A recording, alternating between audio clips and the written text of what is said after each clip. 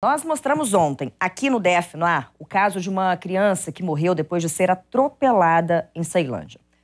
O pai que estava com ela também foi atingido pelo carro. Imagens de câmeras de segurança registraram o momento do acidente. E a gente acompanha essas imagens agora. Foi na QNM 24, na via M3, no sentido setor O.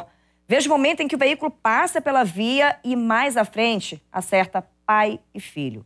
Os bombeiros fizeram manobras de reanimação durante 40 minutos, mas a criança de apenas 5 anos não resistiu e morreu no local. O pai da criança, um homem de 36 anos, foi levado ao hospital de base com lesões no tórax. O motorista do carro, de 38 anos, não se feriu.